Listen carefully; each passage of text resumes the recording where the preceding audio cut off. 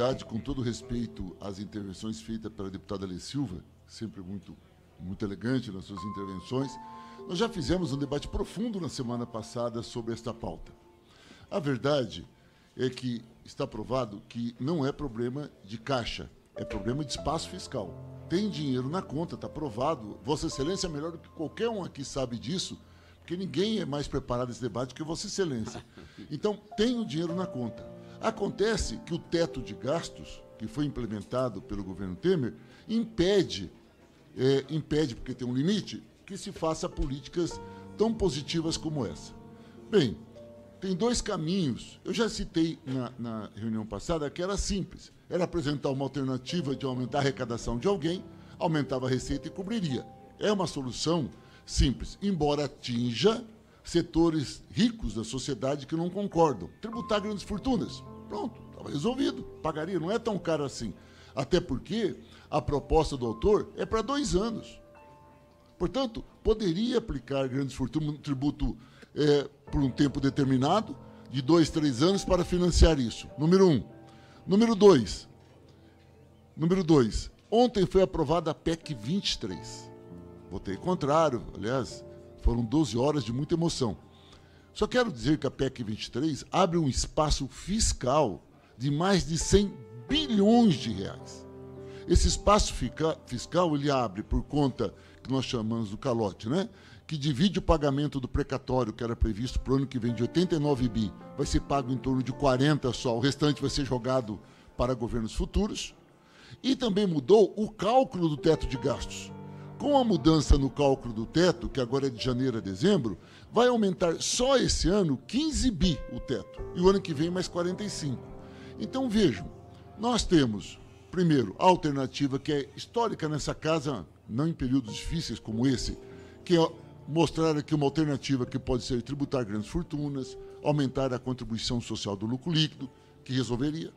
Nós temos o segundo, que é aproveitar o espaço que a PEC 23 abre de 100 bilhões de reais. E tem um terceiro, abrir uma exceção para o teto. Afinal de contas, o que foi feito ontem foi estourar o teto. Portanto, a gente pode muito bem é, alterar o teto, colocar o seguinte: esse tipo de assunto, é só dois anos, fazer, deputada Lê, o que nós fizemos votando o auxílio, o, desculpe, o orçamento de guerra. Que foi orçamento de guerra? É um momento diferente esse, a população está desesperada, a gente cria um orçamento próprio para enfrentar a pandemia. E o conjunto da Câmara, todos nós votamos favorável e o governo federal tinha liberdade para fazer a sua política. Me parece que por ser um prazo determinado tão curto, de dois anos, é claro que a proposta é aberta para todos os salários aposentados, mas o Ministério da Economia pode até apresentar uma contrapartida, tipo assim, ó, até três salários mínimos. Isso, eu só quero ressaltar para não me alongar muito, eu, não, eu, peço desculpas ao deputado que estava aqui na semana passada, eu não, não lembro o nome dele. Ele mesmo disse isso representando o governo junto com Vossa Excelência. Não, como é para dois anos, é uma exceção, vamos tratar como exceção. Uma coisa é regra, outra coisa é exceção. Então fica meu apelo para encerrar. Enio, o projeto é só até dois salários mínimos. Então, então veja só, ele já elimina, ele dá um prazo, dá um limite financeiro, você já tem ideia do impacto por ano e você tem buraco fiscal para isso. Então eu faço um apelo, com todo respeito, às diferenças de interpretação.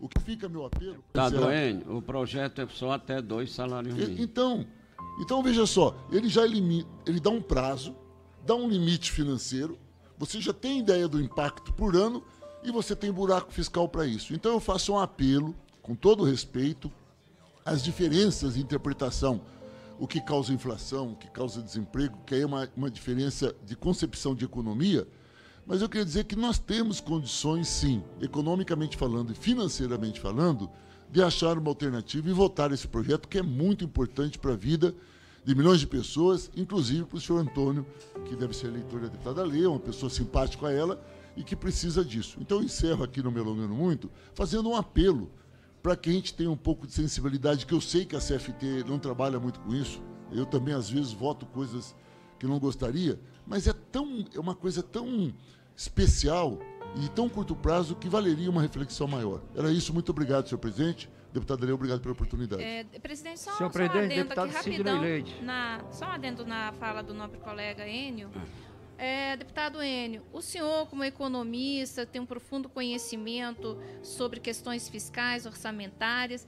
Eu convidaria o senhor, inclusive, a compor comigo né, uma comitiva de nós irmos ao Ministério. Essa palavra ao deputado Sidney Leite.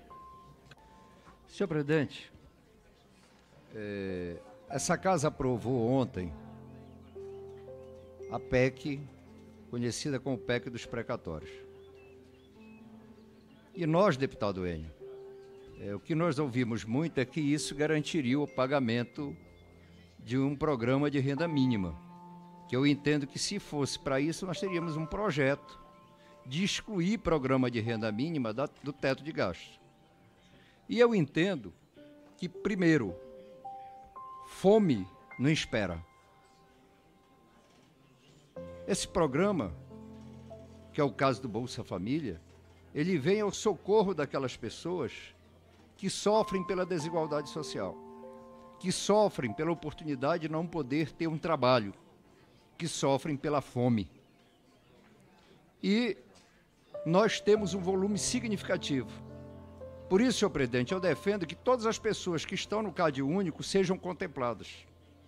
Porque nós não podemos definir qual será o critério quando a pandemia mostra uma coisa deputado Mitidieri, que o próprio ministro Paulo Guedes falou dos invisíveis quando do recebimento do auxílio emergencial. E são esses invisíveis hoje, porque a inflação para o pobre é maior. Nós vamos ver aí o custo do aumento da cesta básica, da energia elétrica, do gás de cozinha, do transporte coletivo, que pedem socorro nesse momento. Então, eu entendo que essa proposta ela se enquadra, até porque com o resultado da PEC, e muito bem colocada pelo deputado Enio, nós teremos aí saldo para que isso seja contemplado. Nós não estamos falando de pessoas que vão receber esse recurso, se receberem, no sentido de tirarem férias, de pagar uma parcela de um automóvel. Não, nós estamos falando de pessoas que têm dificuldade hoje de comprar medicamentos, senhor presidente. Nós estamos falando de pessoas hoje que estão aí endividadas, que com certeza 30%, 35%, e aqui está meu lado o deputado do meu estado, capitão Alberto Neto, que trabalhou muito para aumentar o limite do consignado, e que essas pessoas estão endividadas numa política de juros que Vossa Excelência, senhor presidente, é o que mais conhece aqui nessa casa, não nessa comissão, e sabe o lucro dos bancos, dos famigerados lucros dos bancos, de cinco bancos. Então, eu entendo que esse projeto está maduro, tem condições de ser votado, e eu entendo, senhor presidente, que a prioridade nossa, não só nessa comissão, como nesse parlamento, é estar atento para essas pessoas que nos, nos aguardam por uma decisão desse parlamento. Sabe por quê, senhor presidente? Fome não espera. E essas pessoas que hoje têm problema de alimentos são as pessoas que amanhã terão problema de saúde. Eu não conheço nenhuma criança, nenhum cidadão que aprenda com fome. Nós teremos problema na escola. Então eu entendo que essa casa e essa comissão têm o dever de vir ao socorro dessas famílias. Nesse caso, esse projeto, de quem é beneficiário do sistema da Previdência Social de até dois salários mínimos de ter direito ao 14 salário. Era isso, senhor presidente. Obrigado. É, deputado, em seguida, deputado capitão Alberto Neto. Obrigado, presidente. É, como o deputado Sidney falou,